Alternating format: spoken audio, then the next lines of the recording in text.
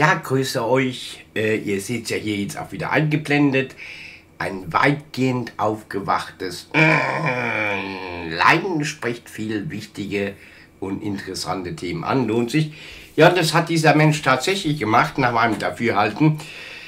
Ist aber auch wieder nicht auf mein Mist gewachsen, sondern hat mir die, die Anna zugeschickt.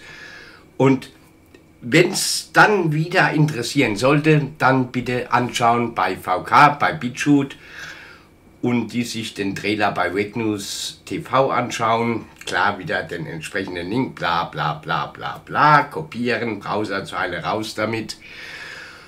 Aber ich denke, was, was dieser Mensch da dann, dann vom Stapel gelassen hat, ist zumindest in meinen Augen zu 80% voll cool und wenn ihr euch das dann geben möchtet, dann gibt's euch. Tschüss!